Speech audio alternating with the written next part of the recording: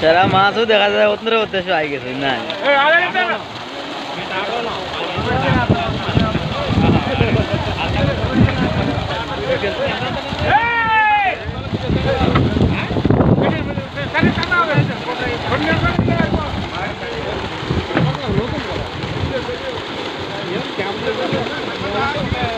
है